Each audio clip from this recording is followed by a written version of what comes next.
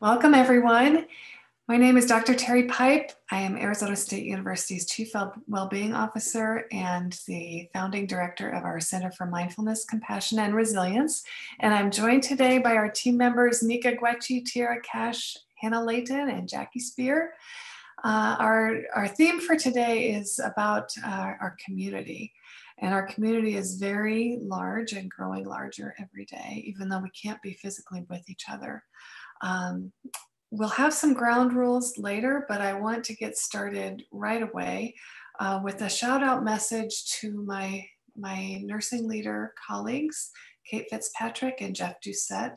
They're nurse leaders at Thomas Jefferson University Hospital in Philadelphia, Pennsylvania. I had the opportunity to talk with them last night, and what they're facing is incredible. The challenges of keeping their patients and their nursing staff and their physicians safe and functioning under conditions that no one has ever imagined before. And so they asked if we could come up with a very short um, meditation or message to go out to the nurses. So that's what we'll do today. So this will be very brief, and this goes from our team to your teams uh, Jeff and Kate, uh, with such heartfelt uh, compassion and nothing short of awe for what you're doing. So, with gratitude. So, if you'd like to, you can bring your eyes to close, but that's not necessary. Please just listen to my voice. Uh, if you're in a place where you're busy, that's fine. Just listen to the words. If you can and it feels right to you, you can take a deeper breath if breathing isn't comforting to you right now, which is understandable, maybe bring your attention into your feet. Sometimes when we're scared or uncertain or our mind is moving so fast, it's really helpful to bring our attention into our feet because our feet don't normally feel anxious and scared. So, however, it happens for you to be best, bring your attention into your being and touch into that part of yourself that is your center. Maybe it's the area around your heart, the essence of you. And please keep that part of you open enough. Right now, it might be feeling really tempting to, to close down and to get a callus on that part, but please keep it open enough to receive the love that is here for you. You have so many people across the country, across the world, rooting for you, extending love and compassion and respect your way. So, with your heart being open, ready to receive, you've been giving and giving, and you will be called on to continue giving. Please also allow love to come in. Allow yourself to receive the care and concern that is here for you. And with just a brief message, remember always that you can heal the moment. You may not be able to heal the patient. You may not be able to solve the problem. You may not be able to prevent the death, but you will always be able to heal the moment. So please know that that ability goes with you always. You know how to do that. You have the skills and the abilities, and you know how to do that not only for your patients and your colleagues, but for yourselves. So heal the moment. So now maybe taking a deeper breath and remembering that even while some things are scarce, we're focused on what we don't have right now. Please know deeply that love and compassion and imagination are never, ever limited. There is no scarcity of love and compassion. There is only abundance. So tapping into that, tapping into that strength, and know that there are so many hundreds and thousands, millions of people uh, watching and supporting you and really wishing you well. So thank you, and please know uh, that, that we're with you every step. And if there's anything else that we can do, we stand at the ready. So perhaps bringing your eyes to open we salute your courage and we just wish you the very best. Thank you. So that um, that is just a very heartfelt message and a really clear reminder of why we're here together today. So we have, we're all being asked to physically distance from each other, but we've never ever needed each other more. The connections one with another are so important right now. So that's actually why we designed these um, YouTube videos. They go out to you every day for about an hour. And if, if you can't stay on the whole time, not to worry at all. You can access these uh, later by just visiting our website, uh, mindful, asumindfulness.edu, and uh, they'll be available to you. So the, the only ground rules really are to let yourself uh, experience these sessions as fully as you can, decrease any distractions that you can uh, while you're here with us. And um, if you're joining us live, we'd love to hear from you. And so there's a chat function that you can use. You can just write us your messages, your questions, anything that you would like us to pay attention to. Um, we're also, uh, we have the themes through next week and we just plan to keep doing this for as long as it's necessary. And so if you have topics that you would like us to consider please uh, drop us a line and let us know too so we've gathered up some questions and um, and thoughts over the week, and so I'll ask Jackie if she would read those, and then anyone on the team uh, that that feels that they have the a great response. We won't say the right answer because the answers are always evolving as we go. But if you have a great response, just jump in. All right, Jackie. Thank you. Okay. So, our first question I think I'm going to direct this to all of you, but Tiara um, especially. Um, it says, I am undergrad and plan to move on to my grad program right away after I graduate. I've been feeling really stuck trying to decide the direction of my career and honestly feeling stuck in my personal life too. I feel like I can't move forward and I keep looking backward. I have so much anxiety over making the wrong decision. This is such a big deal. Each option could be great for me, but the unknown is killing me. If I go down the wrong road, I keep envisioning being in the wrong career and not doing what I'm meant to be doing. I made the mistake of not making a decision in high school and a really good opportunity passed me by. I have huge regrets about it. How can I get clear and centered about what I want to do and letting go of that mistake that is haunting me so I'm not feeling so stuck? Thanks. Whew, I want to hold that with you because I um I feel that. I I you know no no two situations are the same, but I can understand in a lot of ways how um, that could feel because I was in a very similar situation, and and it is tough, right? Like considering making the wrong decision um, is tough and it's something that we hold on to. And actually, my sister and I have been having a lot of conversations around this. So the first thing I would like suggest you doing is just going back to the conversation that we had last week, which is sitting with the fact that you've acknowledged that a choice needs to be made. And that's like, hurrah, right? Very proud of you for acknowledging the fact that you need that, that the choice is, it's time for that choice to be made. Um, and then just, just sitting with, with that, with the choice. What does it look like? How does it show up in your body? What does it feel like? What emotions are around it? Acknowledge those. And if you can put those to the side and separate those feelings and the way that it shows up in your body, um, separate that from the actual choice itself, you might be able to see the choice as different than the story your body's telling you around it. So that's the other piece of it. But also to, to know and this is something that you know my parents have have really tried to instill in me that i don't think any choice is a wrong choice right? Every choice that we make is really a choice that we in some ways are supposed to make.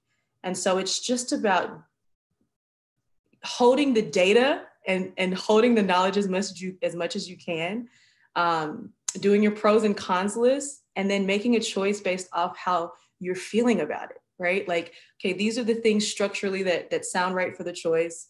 This is how I really feel about this choice versus this choice. And then just trusting yourself to make a decision.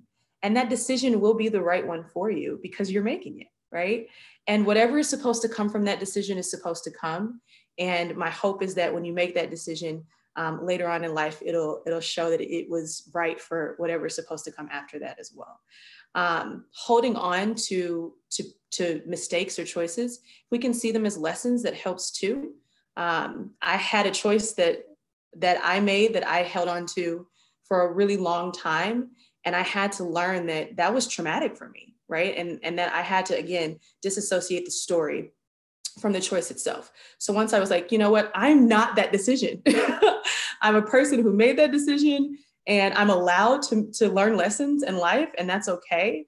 Once I, I made that, that distinction, then it was like, okay, the next choice is not going to be a mistake for me. It's just going to be a choice, and I'm going to learn from it, whatever it's supposed to be, and it'll be the right choice because it is a choice. So those are um, it's a lot, but that's that's my my advice to you um, and to go back and, and visit that the clearing um, meditation session that we had, the midday mindfulness session, and see if that works for you at all too. I would like to say something about this if I can. Um, so yes, I would love to hold space for that. Um, kind of, Hannah, you got to speak up. I would love to hold space for that kind of fear of uncertainty. I think that that's something that's really relevant in so many lives and so many aspects right now. Um, I was just reading a great passage by Pema Chodron. Chodron, is that how you say it? I hope so. Um, but it says, Can you think of groundlessness and openness of insecurity as a chance that we're given over and over again to choose a fresh alternative? Things happen to us all the time that open up space. This spaciousness in wide open, unbiased, unprejudiced space is inexpressible and fundamentally good and sound.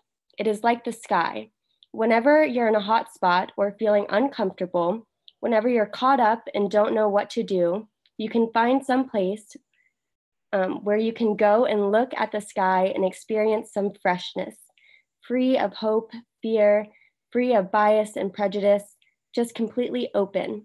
And this is accessible to all of us all the time. Space permeates everything, every moment of our lives.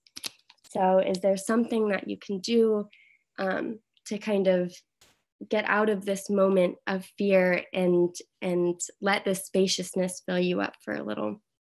Something I did when I was going through um, the similar um, unsurety of what to do after my undergrad um, I put all of my options in a hat. I wrote down all of my options and I would pick one out and sit with it and see how it felt in my body. And and I would kind of go through them.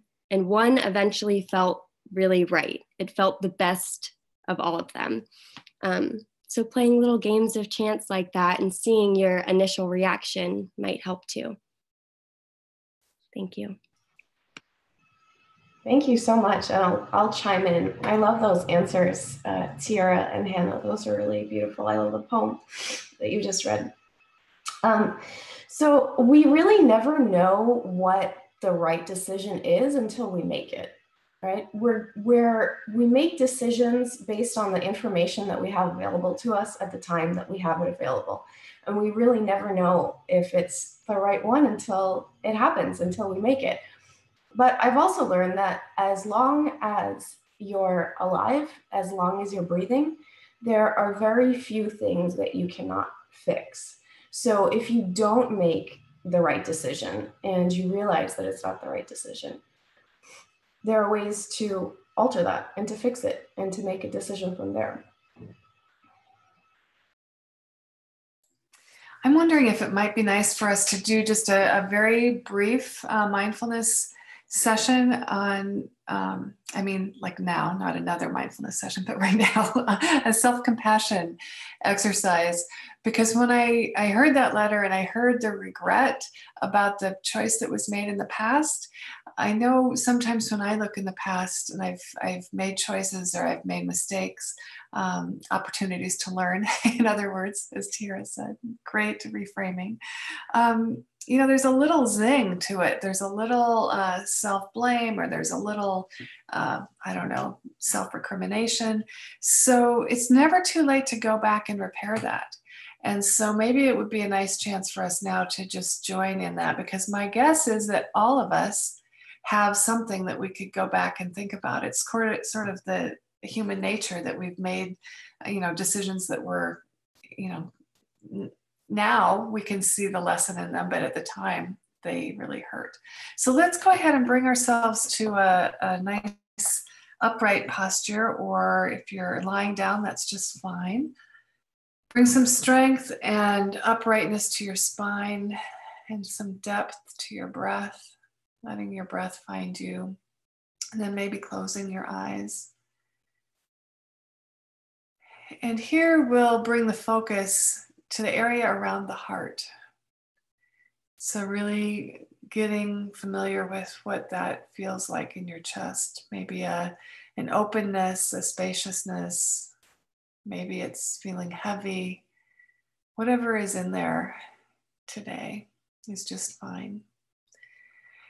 And then in your mind's eye, in your imagination, remembering a time when you made a life choice, a big one, a small one, after a time of feeling stuck and uncertain. And maybe you feel like it was not in your best interest now, or it was a mistake. You have a little regret about it. So, just getting that decision in your mind and then seeing how it feels in your body to feel regretful about it. This often comes up in tightness in your jaw or a clenching in your stomach. Maybe your heart does feel heavy with it, or maybe nothing. Maybe you've really moved on and there's really nothing.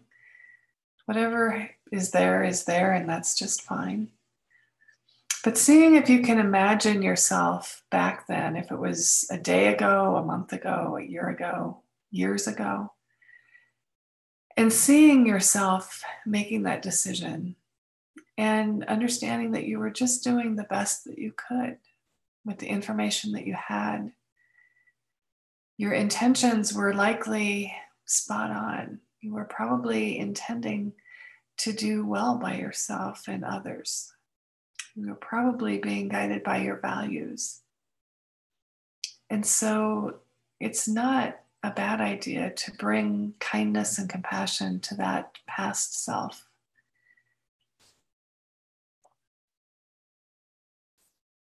Darling, I know that you tried your best. I can see that you were really choosing based on what you knew at the time. And after all, I have learned from that choice. I've learned so much.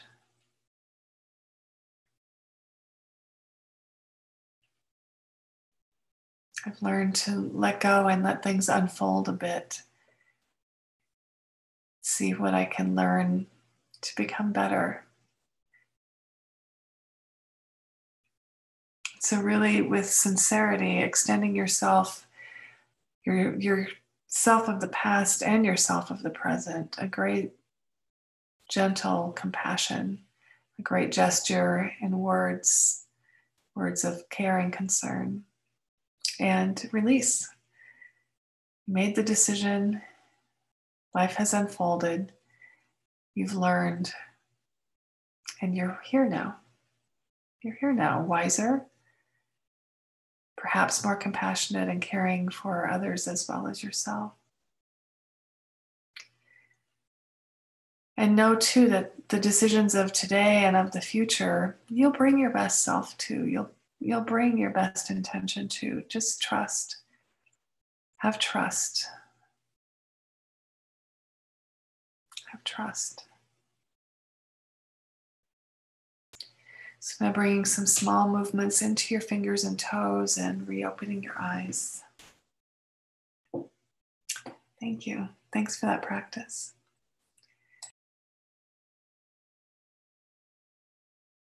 Should we move on to the next question, Jackie? Yes, thank you. that was really beautiful and that was just much needed, I think. So thank you for that. Um, I have the next question. Um, it says, My granddaughter has been complaining about being lonely and depressed.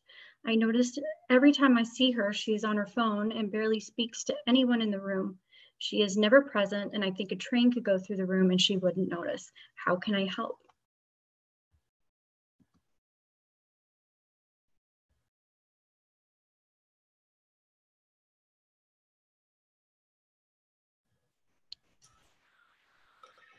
We have a comment down here just um, just referring back real quick about the previous question, Beth said, when I was an elementary, sorry, elementary school teacher, my mantra to the students was, mistakes are our friends, they teach us lessons. That's so true.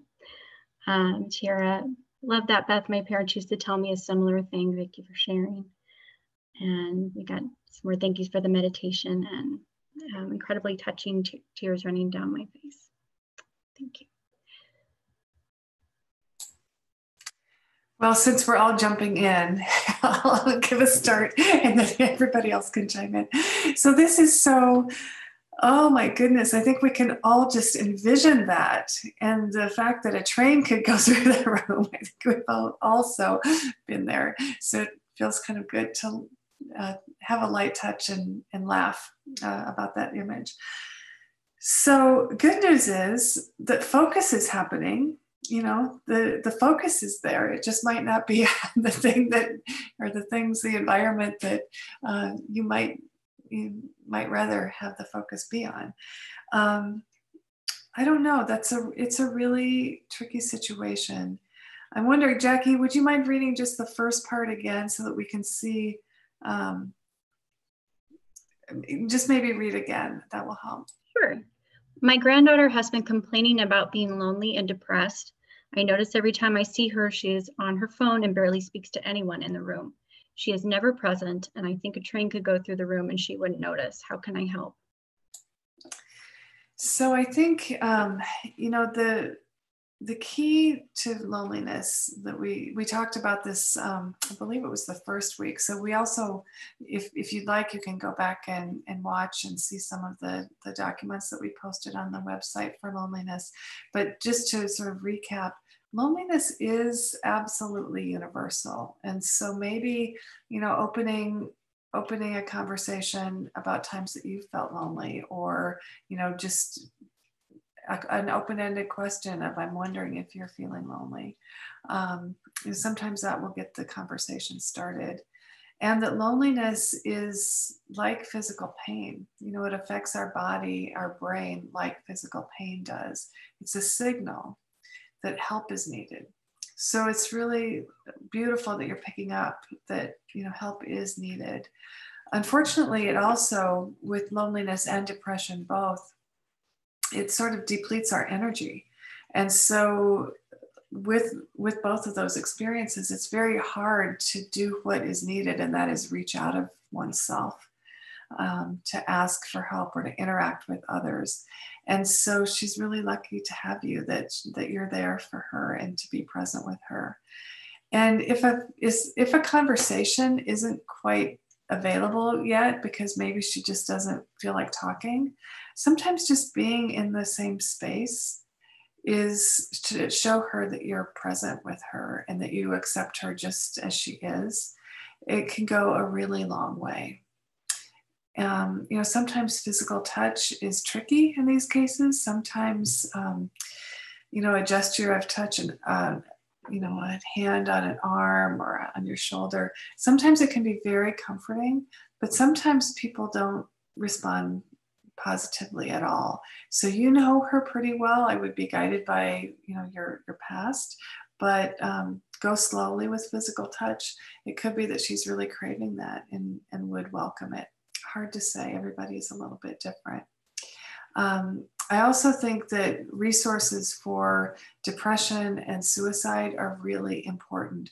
So, making sure that you have access to, that you've looked at your local resources for mental health services and for suicide prevention, very, very important, just so that you're ready to have conversations and perhaps to make referrals if, if that seems appropriate.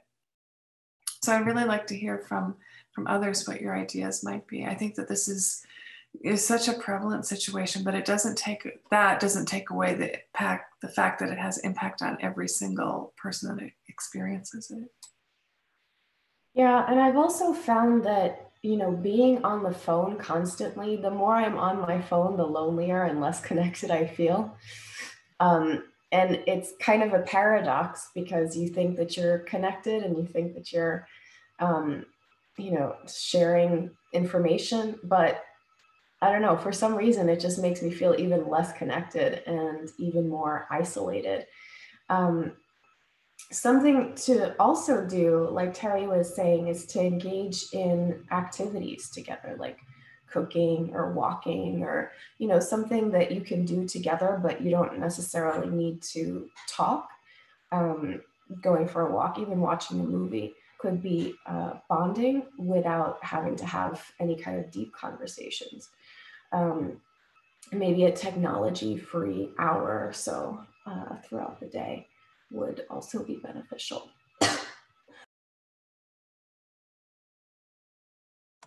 I'd also just, oh, sorry, Hannah. Go ahead, go ahead. I'm just gonna say that, you know, I had really tough years as a teenager. I was one of those teenagers that like was emotional and cry and be upset all the time. Um, sorry, mom. So, you know, what helped me was just to know that I had someone there, like, period. Like, just my mom, you know, whenever she could, if she could come in the room and be like, I'm here for you if you need me, walk back out. That was enough to um, give me some comfort in those times. So, you know, unfortunately, when we are in those teenage years and chemicals are moving around and we're learning how to be um, adults. Uh, there's not a lot that someone else can do or say to change the situations that are happening in our own bodies. But just to know that someone's there might even be the game changer um, for her. So, hope that helps. First, I would like to say it's so beautiful that you have so much care and compassion in your heart to reach out and um, be proactive about finding, asking about solutions and asking about what to do. Um, I think that her telling you that she feels these ways means that she trusts you and that you do have an access point with her. She trusts you and and lets you in enough um, because that is a hard thing to say out loud, especially when you are feeling that. Um, but I think you already hold the appropriate space if she can trust you with that information.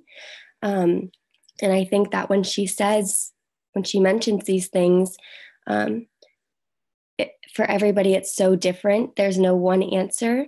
Um, so maybe asking her specifically, what you can do, how how you can help, and and what kind of space she needs, um, and kind of giving her that power and that agency to tell you what she needs herself, or to so that she starts even thinking about, you know, she does have power and she she can come up with solutions, and it, it would be nice to prompt. Um, I think things that just you can do to help with the loneliness. Um, maybe write her a letter of all the reasons she matters to you or all of your favorite interactions that you've had with her. Maybe have other family members, if she's close to other people, do the same and then kind of just gift her with these so that she doesn't have to talk about it, but she knows that she feels she's supported and matters in these contexts. But I think that you're doing wonderful and you already have some trust um, built. So thank you for reaching out and for caring. That's awesome. Thank you, everybody. Um, I agree with everything you guys have said, and I I have found that when um, it, conversations are difficult to start, or for some reason the connection is is stunted, or um, it's I when Nika said to try cooking or try doing something together, I think often if you put yourself in a novel situation, it takes you out of that like what you're doing every day and it kind of opens up that space to be able to feel comfortable to talk and um, maybe bring some freshness to the situation. And sometimes i find it easier to talk about my feelings to someone when when we're busy doing something. You know say we're like playing monopoly or you know or cooking like nika said because you're you're busy doing something and you're using your hands and you're kind of busying yourself and you might feel a little bit less like uncomfortable about talking. So um, thank you ladies. And thank you for that question. I think that's going to be helpful for a lot of people. Okay, um, the next question that came in is, I work for Conhigh. Uh, shout out to CONHI. I smiled when I read the dean's subject line of a recent update email. It said, try to resist the call of the fridge. It was so relatable for me. I don't recall thinking this much about reaching for food throughout the day while I was working in the office. Any tips on why and how can I shift out of this sudden constant thinking about food? Any thoughts, ladies? Well, that is a great question. And I'm sure that this is not the only person that is struggling with this. um, so, boredom, of course, plays a huge role in this. If you're just sitting at home all day with not a whole lot to do, the call of the fridge or the pantry is that much more tempting but it's also i think about control you know there are so many things here in this current climate that we can't control that we can't you know process even but we can control what we consume and so maybe that is part of the reason that the call of uh, the pantry and the fridge is is that much more allure, alluring these days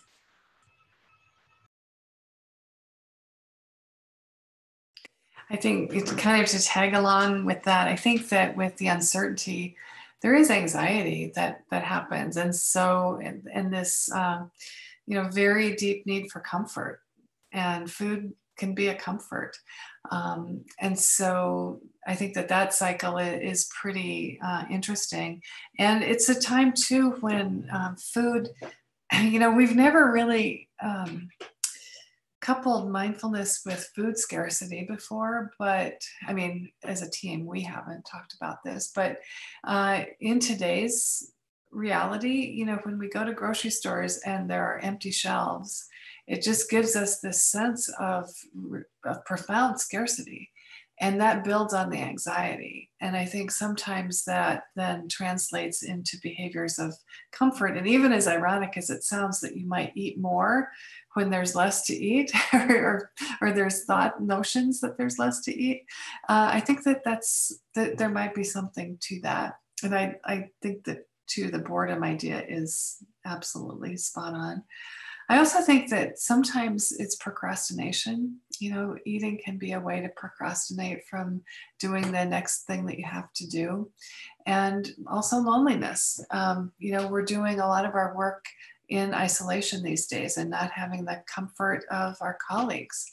I mean, I love that I get to see my team every day. Um, I miss them so much. I miss being in their physical space, but um, you know that that's also just the loneliness factor. I think is is driving some of the comfort seeking of of eating. Um, I don't know what it what do others think. I play devil's advocate a lot. So I'm sorry. I'm gonna always be that person that's probably like completely separate in in my answer. This is true. Yeah, I you know it gives us way different you know answers and, and completely different spectrums. Um, you know, I also think so. My eating habits haven't changed very often, but that's because I'm a grazer. So I eat all day long anyway. When I'm at work, I eat all the time. When I'm not at work, I eat all the time.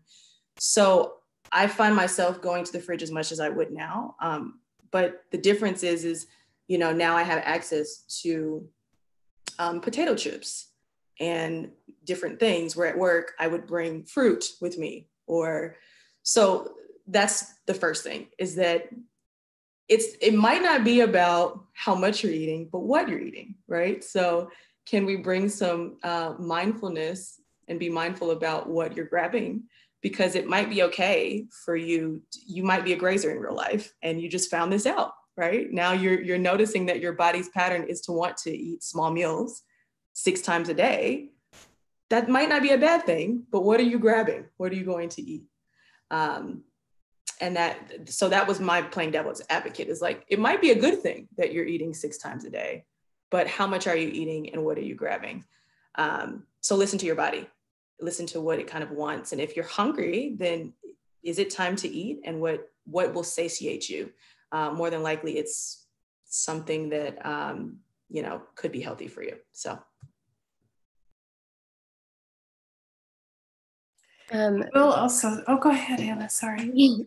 Just to piggyback off of what Tiara said, um, kind of getting in tune with what your body is telling you and what kind of hunger you are experiencing. So, we actually have a video on our center website under um, videos where Dara James talks about um, the nine different types of hunger. And this might be really useful because we experience hunger on a lot of different levels. Um, sometimes we see food and that makes us hungry. Sometimes we have cellular hunger, which is kind of what Tiara was talking about, where our body needs to be nourished. Um, so maybe watch that and and see where your mind is relating to when you go to reach the food. And just as a note, Hannah is also starring in that video. So um, I'm referring to the one underneath where it's just Dara. Please don't watch mine. Thank you very much. So, Hannah, I was going to say exactly the same thing without the pointing people away from your video. So, we do have a few resources that I think that you'll you'll find really helpful on our website. Um, and you do get to see a cameo by Hannah, which is fantastic. Yes, it is fantastic. In fact, I think that we should all go and watch it when we're done. um, I really appreciate that question because I, since I've been working from home, I've been struggling with that myself. And I just find that I, I just feel a little bit, you know, out of my schedule. And even though I'm home and normally I'm comfortable here, I'm not normally home during the day. Um, and I just just feel a little bit out of sorts. And uh, I do find myself asking, why am I going to reach for food? Am I actually hungry? So maybe just asking yourself, am I actually hungry right now? And um, questioning, you know, why you're there. If you if you are hungry, then by all means eat. But if you find yourself reaching for food and you're like, I am not hungry at all, then maybe go take a walk. Um, just find something to, you know, distract yourself for a few minutes um, or drink water. That helps me drink water, and that seems to kind of help get past that because um, sometimes you're dehydrated when you think you're hungry. So thank you for that, ladies. Okay. Okay.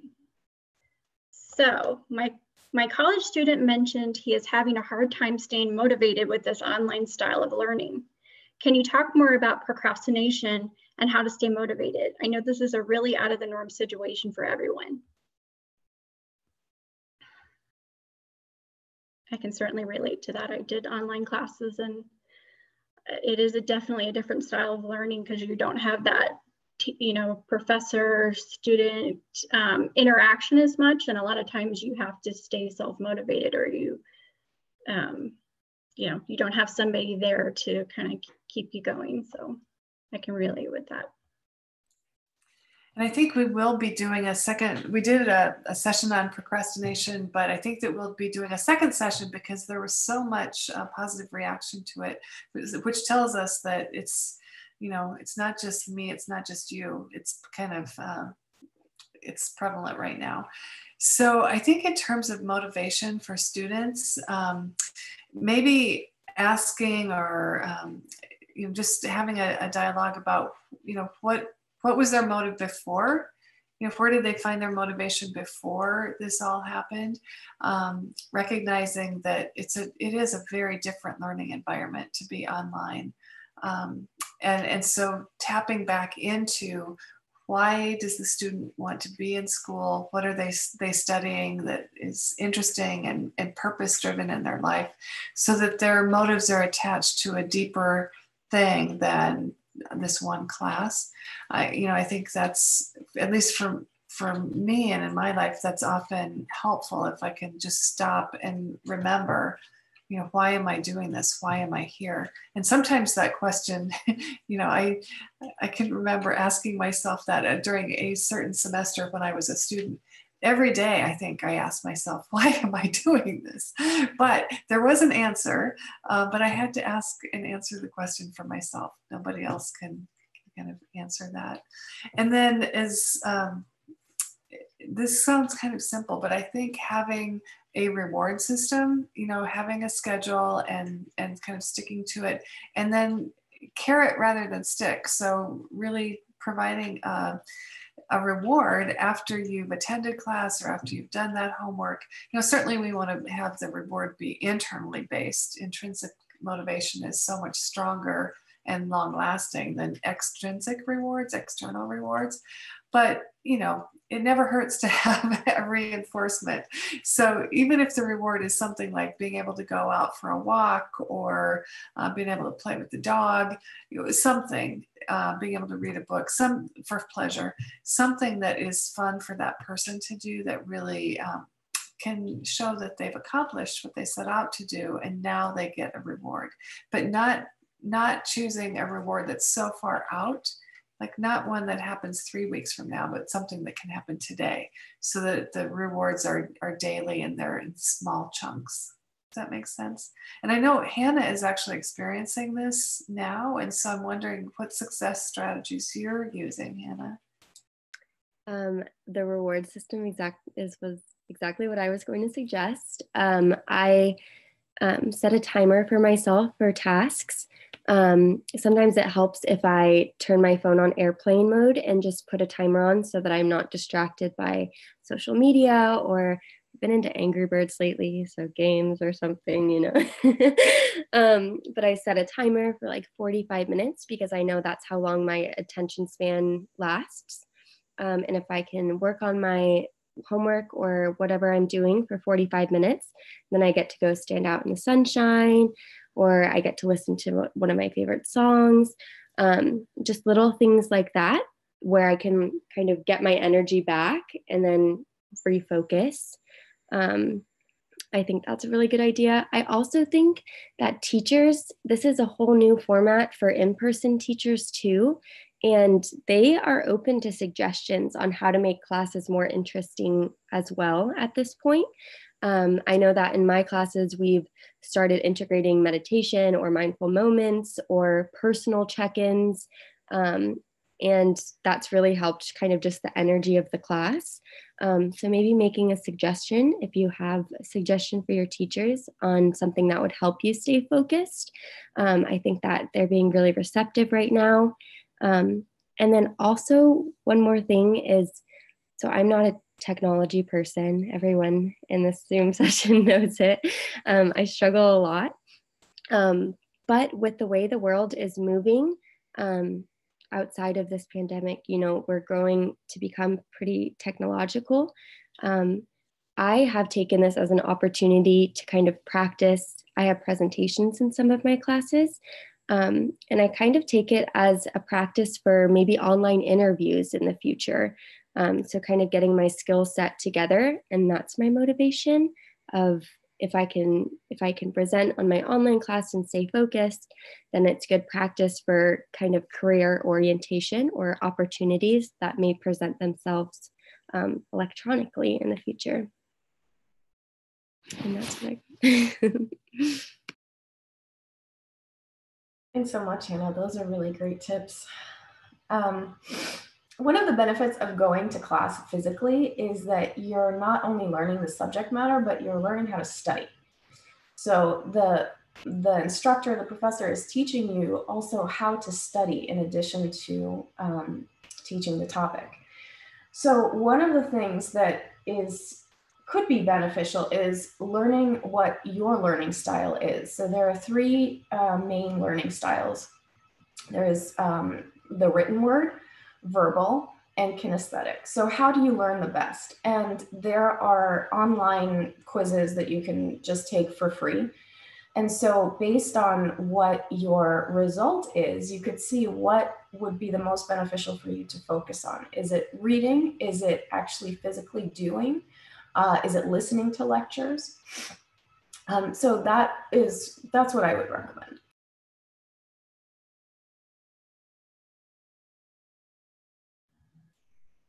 Thank you. Those were really good tips. Thank you. Okay, I've got two more questions. Let's see if we have time for both of them. We may not, but let's see. The next one says, my family is a little more on edge and not as patient with each other since the quarantine. It is strange that we seem less connected even though we are all home every day. Can you provide some fun and or practical ideas that I can introduce to keep the stress down and keep us all grounded? Thank you.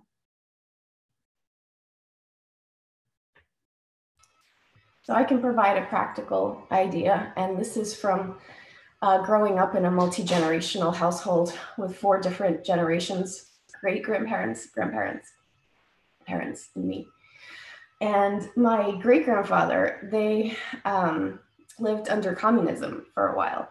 And so my great grandparents and my grandmother, who was a little girl at the time, they lived in a house that they owned. And all of a sudden, under communism, multiple other families moved into that house. So they were stuck in one room with other families in other rooms and they had to share their space. So my great grandfather would always say, maximum tolerance and minimal contact. That was his um, that was his advice for the best way to live together.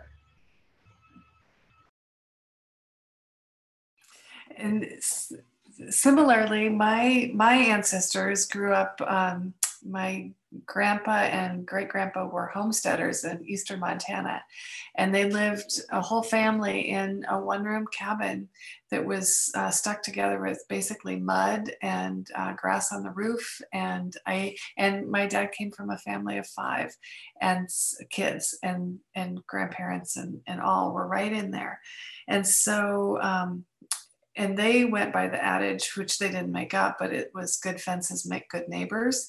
Um, and so I think you're right, creating some some space and some some ways to signal each other that you you don't want to talk right now.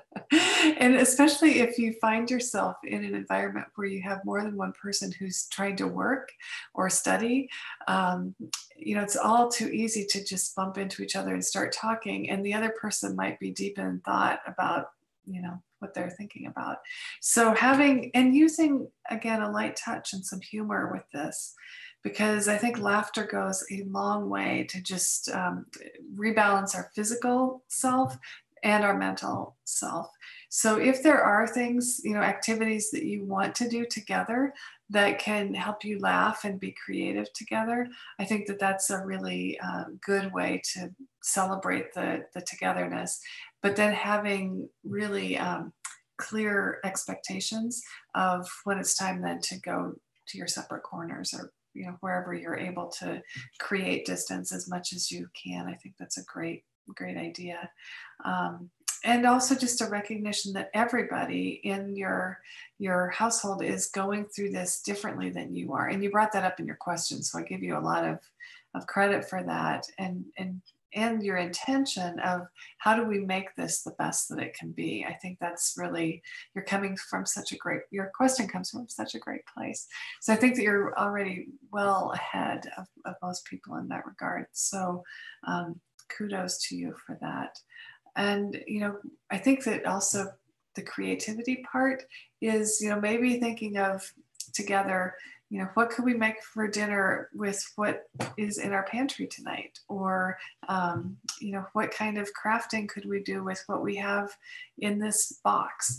So, accessing some creative and fun things that you can do together and knowing that you're making memories that are going to last you for a really long time.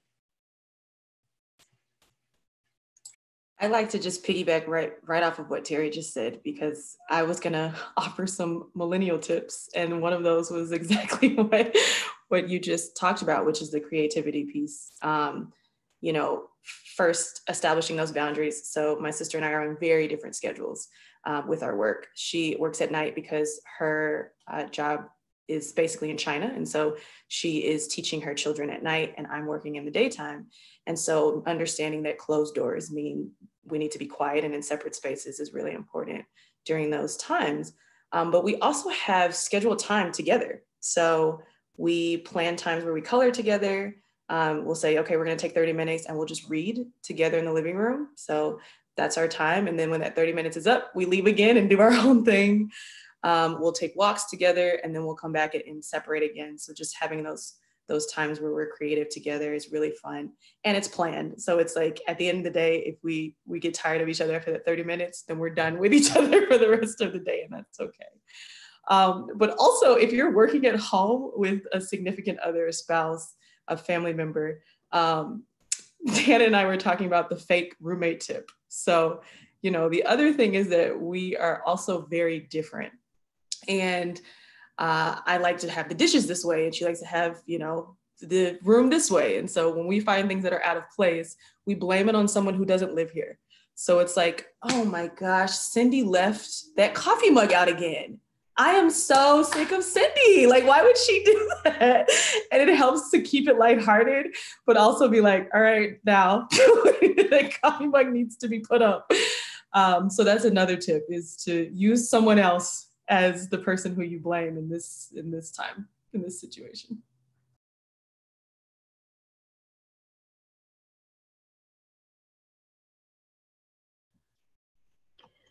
So i will just throw out there maybe um, enjoy the weather right now. We're so fortunate to have the weather that we do here um, this is that time of year and go outside for dinner and when you guys do reconvene and have a picnic dinner together just you know be outside in the space and you can still kind of do your own thing be in your own corner of your of the blanket you know but just enjoy the enjoy the outside together.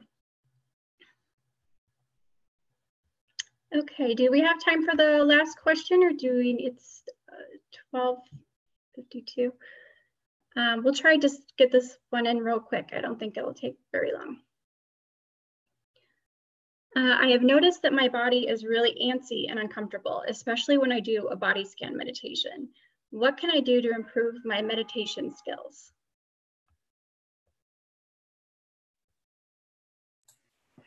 So, I'll oh, go ahead, Nika.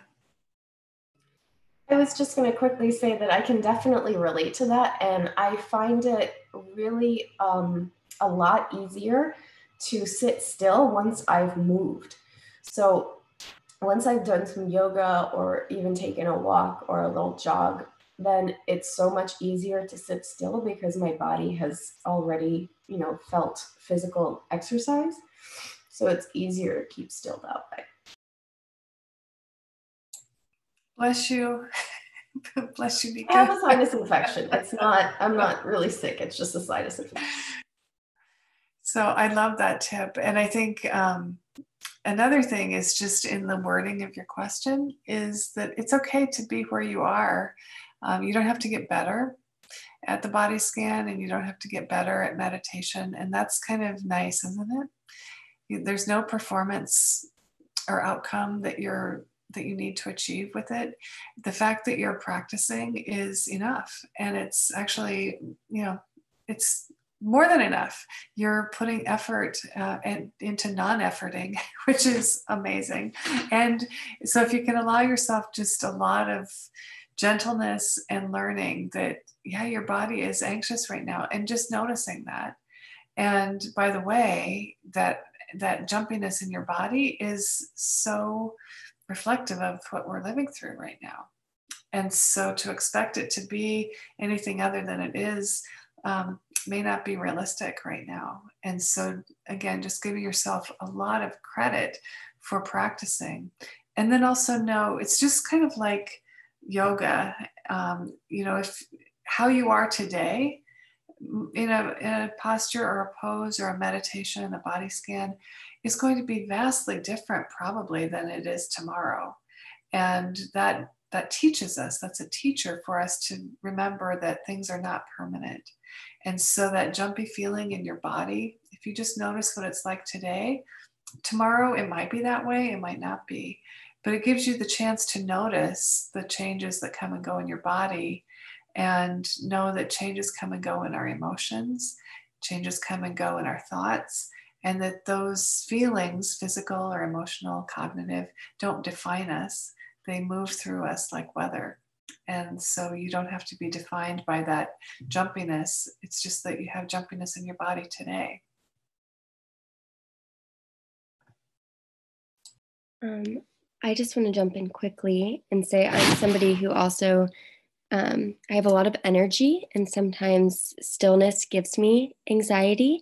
Um, and when I meditate, sometimes I like to just sway back and forth and kind of get into a rhythmic movement. So I'm moving, but I'm also, it's moving enough to where I'm not anxious about not moving, but I can also bring my focus back to whatever words are there because I'm not thinking about like my body isn't asking me to to move if that makes sense so maybe finding little movements or twirling your fingers when you meditate little things like this can help us get that energy out um, but won't be too um, distracting um, and also, I like to say that um, the more we sit in discomfort, the more comfortable we become with it. and so it's a practice, not a perfect. Um, and so the longer that we practice, um, and especially if we feel this discomfort, maybe the next day you notice it's still uncomfortable, but it's a little less uncomfortable. Um, and we we kind of get to that state until we can we can sit with this so it's not so distracting anymore. But yeah, just practicing is enough.